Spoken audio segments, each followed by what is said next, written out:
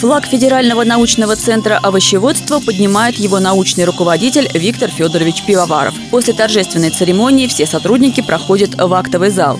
Вступительное слово предоставлено научному руководителю. Он работает здесь с 1968 года. Когда в 1992 году институт стал всероссийским, Виктор Федорович возглавил его и руководил до 2017 до преобразования в Федеральный научный центр овощеводства.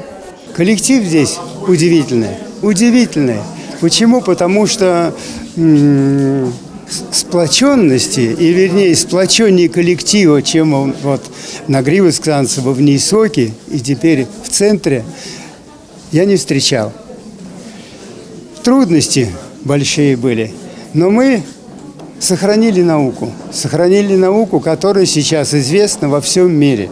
Достижения в науке отмечены на высоком уровне. Лучшим работникам учреждения – благодарности и грамоты от губернатора Подмосковья и Министерства сельского хозяйства. Благодарственное письмо от главы Одинцовского округа вручили заведующей лабораторией иммунитета и защиты растений Ирине Янгалычевой. Она пришла во ВНИИСОК аспиранткой в 2002 году. Начинала свою деятельность в лаборатории посленовых культур. Работа над диссертацией на тему селекции на устойчивость к вирусу бронзовости томата на культуре перца сладкого помогла определиться с дальнейшей специализацией. В 2005-м Ирина Александровна перешла в лабораторию иммунитета, заведует которой уже 6 лет.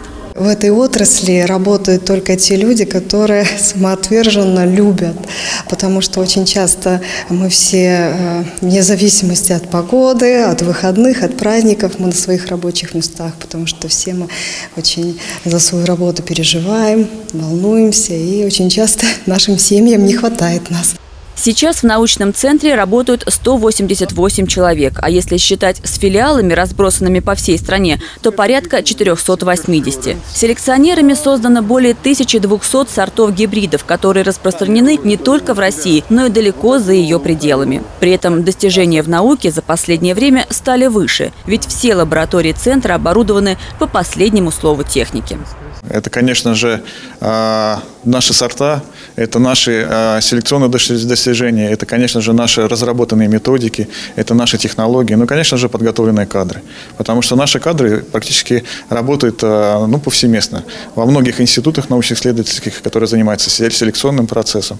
Поэтому нам есть чем гордиться. За столетнюю историю нашего учреждения мы оставили след серьезный. Наталья Гончарова, Денис Харламов, телекомпания «Одинцова».